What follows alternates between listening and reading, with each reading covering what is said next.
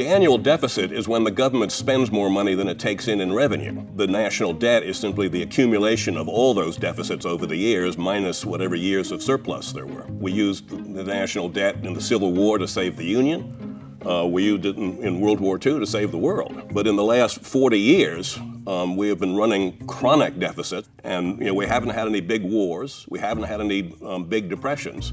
And so one wonders why is the government chronically in deficit?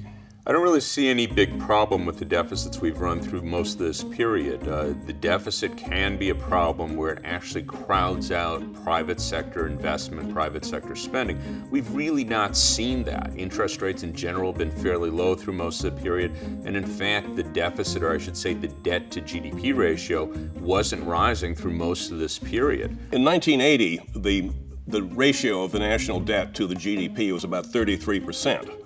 Um, today, it's about 100%. If we were to get involved in a, another Great Depression or a Great War, we might find ourselves running up against limits. Given that the U.S issues debt in its own currency, I, I, just really can't see this sort of cliff story that we suddenly hit some limit and then we hit a disaster. If we really ran into problems, the end of the day, the Federal Reserve Board could buy our debt. Now, anyone would rightly say, well, that could cause a problem of inflation. And of course it can, but that's not a cliff story. I, I agree with you that it may not be a cliff, but it's uh, probably a pretty steep slope.